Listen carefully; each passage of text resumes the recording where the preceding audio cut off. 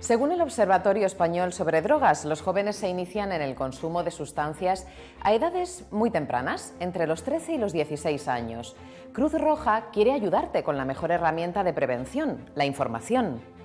El consumo de drogas conlleva graves riesgos para la salud.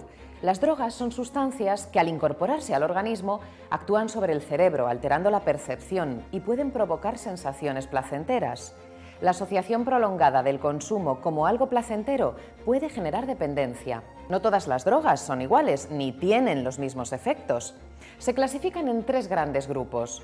Las estimulantes aceleran el funcionamiento del sistema nervioso central, provocan una excitación generalizada. Las depresoras ralentizan el funcionamiento del sistema nervioso central, provocan somnolencia, reducen los reflejos. Las alucinógenas distorsionan el funcionamiento cerebral, deforman la percepción. El consumo de drogas supone un grave riesgo para la salud, por eso infórmate sobre los riesgos.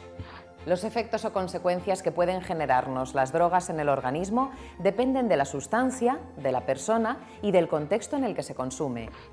Mezclar drogas potencia o alarga los efectos de las sustancias consumidas, pero también potencia los efectos negativos. Consumir drogas tiene consecuencias. Las drogas no son ningún juego. Ayuda a quien lo necesite o pide ayuda si lo necesitas. Existe la percepción de que las drogas más consumidas no hacen daño, pero no hay prueba alguna de que éstas sean menos perjudiciales para la salud. El alcohol y el tabaco provocan importantes problemas para la salud. El consumo de cannabis provoca alteraciones en el funcionamiento normal del cerebro.